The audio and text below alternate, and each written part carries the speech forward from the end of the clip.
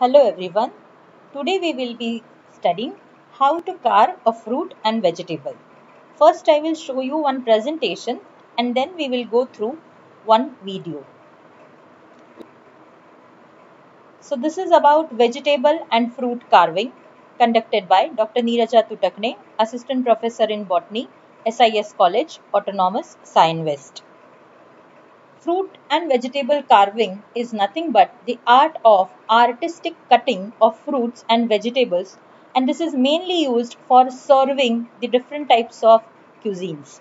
The purpose of fruit and vegetable carving is to make the food more attractive and at the same time it becomes more appetizing and easily palatable.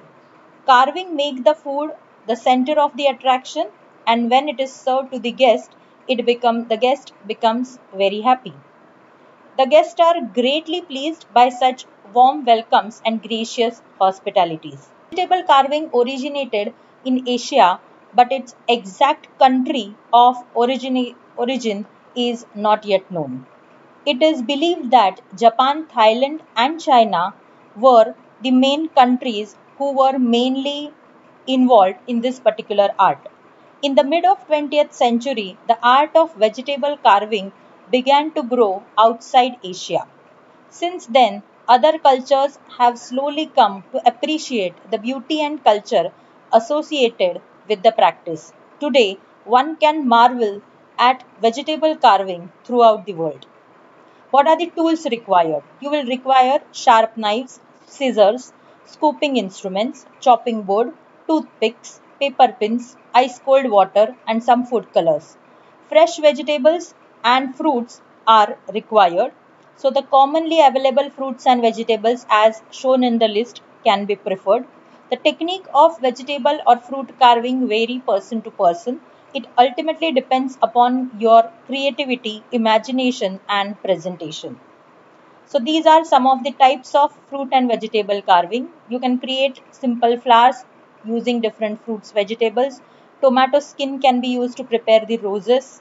Simla mirchi can be used to prepare the leaves. Coconut tree, candle stand, boat, penguin, different types of birds, crocodile and a doll can be prepared by using common daily available fruits and vegetables. Here you can see the crocodile made up of Karela, bitter gourd,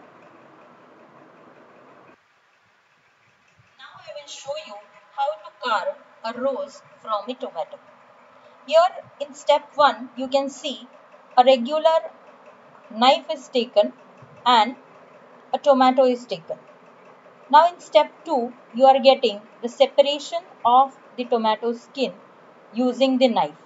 Here we have to avoid taking the pulp and we have to scrape out the skin of tomato. In step 3 you can see half of the tomato skin is removed and we are getting a complete ribbon like tomato skin preparation. Step 4 is also showing you the tomato skin ribbon. In step 5 the pulp is separated and one strip of tomato skin is separated.